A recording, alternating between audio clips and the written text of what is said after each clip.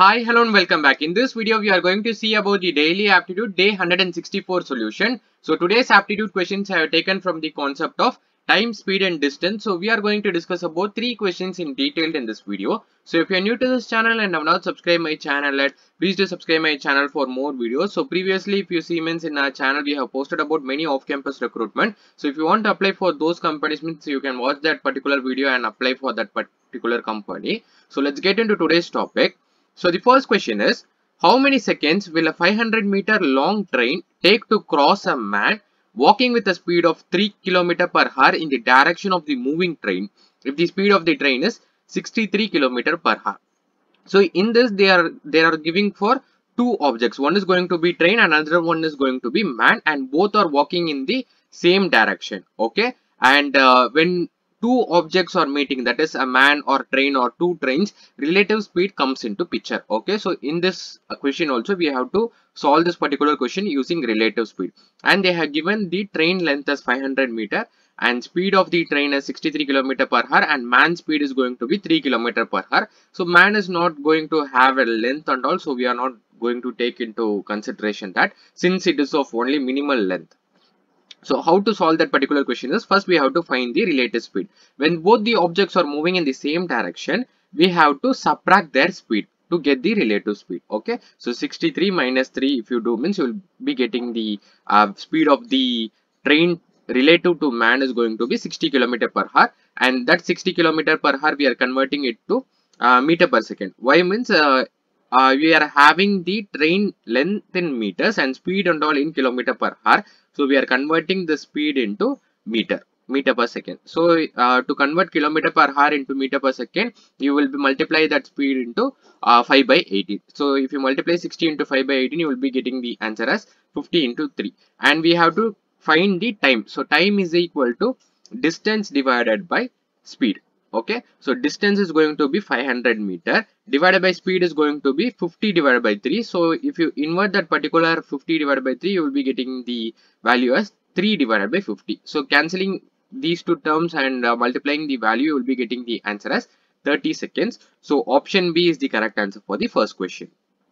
And the second question is two goods train each 500 meter long are running in opposite direction on parallel tracks their speeds are 45 km per hour and 30 km per hour respectively.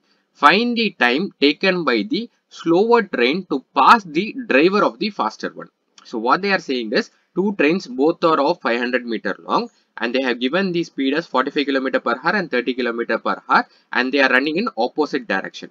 Find the time taken by the slower train to pass the driver of the faster one. So what they are asking us to find is we have to find the time but the slower train need not to pass the faster one completely.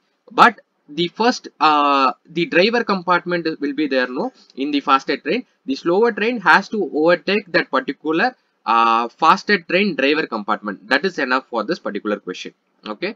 So relative speed what we will be finding? Since it is in opposite direction 45 plus 30 we have to add these speeds. And converting into into meter per second we will be having 125 divided by 6 so we have to, this is the point what I have said. We have to find the time taken by the slower train to pass the driver of the faster train and not the complete train, not the entire train we have to find.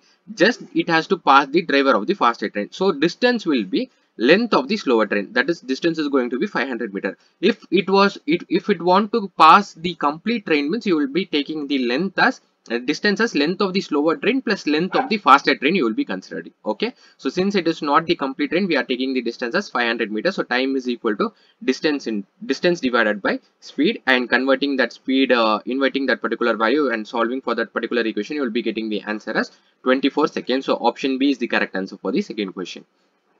And the last question is two trains are running in opposite direction with the same speed if the length of each train is 120 meters and they cross each other in 12 seconds, then the speed of each train in kilometer per hour they are asking. So in this we have to find the speed. So relative speed is going to be uh, speed of each train is going to be x kilometer. We uh, we don't know what is going to be the speed of each train. So we are taking it as x kilometer per hour and relative speed is going to be in since it is an opposite direction we have to add the speed of each train. So x plus x it is going to be 2x. So speed is equal to distance divided by time taken. So 2x is equal to distance is going to be 120 plus 120 divided by uh, time is going to be 12 seconds divided by 12 you will be getting the answer as x is equal to 10 and this will be in meter per second. We have to convert it into kilometer per hour. So to convert the meter per second into kilometer per hour you will be multiplying the value by 18 divided by 5 so 18 divided by 5 into 10 if you do means you will be getting the answer as 36 km per hour. So option C is the correct answer for the last question. So I hope you like this video. If you like this video, please share it with your friends. And if you're new to this channel and have not subscribed my channel yet, please do subscribe my channel for more videos.